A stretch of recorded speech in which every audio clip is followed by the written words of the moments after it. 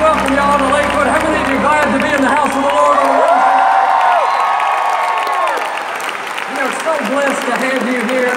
I can feel the excitement, the anticipation, the expectation in this room.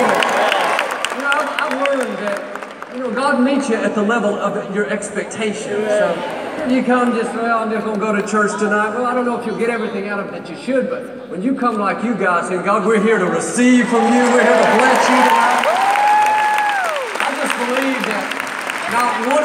Are going to go home the same way we came in. So, you know, how many of you are blessed that we have John Gray with us here at Lakewood? John's one of a kind. He's not only a great minister, but he can sing, he can rap, he can do about everything. We're just blessed to have him with us, blessed to have you here. So, not just a night of entertainment, but a night of worship, a night of, uh, you can take time.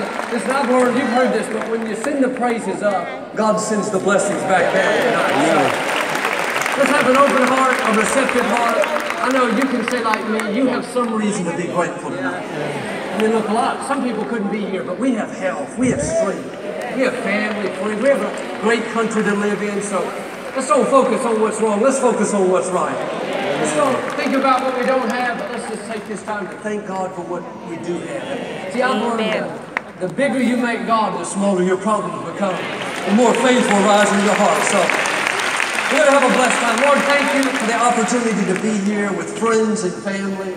Lord, we wouldn't be here if you hadn't given us air to breathe today. We thank you for the gift of this day.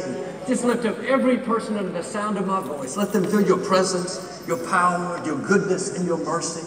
Lord, we commit our lives, this service, our future into your hands. I thank you for a great night of worship as we bless you. Lord, I thank you that you're raining down favor and healing and wisdom and everything we need to live a victorious life.